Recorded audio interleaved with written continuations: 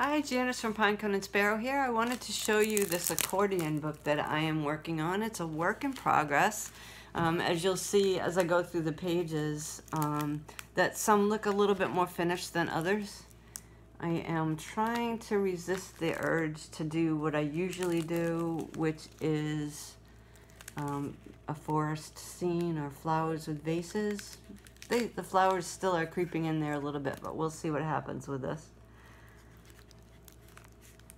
The undersurface of this is um, book pages and magazine pages, but as I get closer to the uh, what's going to show when the book is finished, I'm using um, hand stamped or altered paper in some way so that it's um, you'll get a, um, a unique book when this is finished.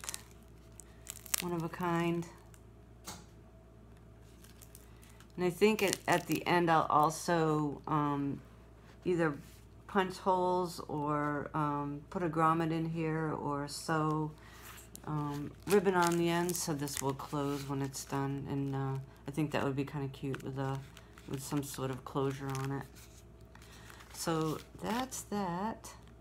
I will um, let you know how it goes as I um, work on this piece and um, you can find me on Facebook and Instagram on Pinecone and Sparrow and my website also is Pinecone and Sparrow. Thanks. Take care.